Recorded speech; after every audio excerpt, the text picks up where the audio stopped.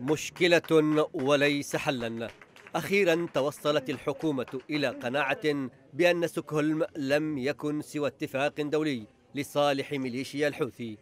هذا ما ظهر من تصريحات المتحدث باسم الحكومة راجح بادي لصحيفة الشرق الأوسط الذي أكد أن الاتفاق الدولي لم تكن له أي آثار إيجابية.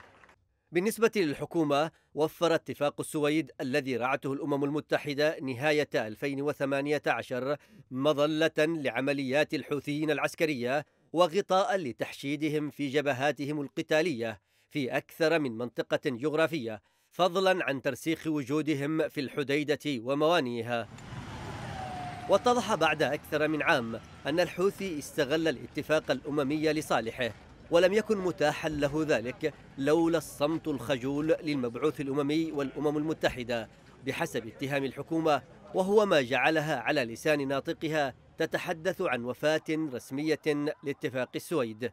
ما الذي دفع الحكومة لتعلن وفاة الاتفاق الدولي؟ رغم مرور فترة طويلة على جموده عمليا الجواب الحكومي متعلق بالتطورات الأخيرة في منطقة نهم التابعة لمحافظة صنعاء والمحاذية لمارب. فالتصعيد العسكري للحوثي في نهم أنهى اتفاق السويد بشكل نهائي وفق تصريح ناطق الحكومة. تصريحات الحكومة متأخرة زمنيا بنظر منتقدين أداها لكنها تمثل صحوة إيجابية بنظر آخرين. شريطة ألا تكرر الشرعية أخطاها وتستفيد من دروس الاتفاقات السابقة حيث سلم اتفاق السلم والشراكة صنعاء لميليشيا الحوثي وثبت اتفاق السويد أقدامها في الحديدة بينما حمى اتفاق الرياض تواجد ميليشيا الانتقال في عدن. ولذلك فإن يمنيين يحذرون من خطورة قبول الشرعية باتفاق جديد قد يضيع تضحيات الجيش في نهم.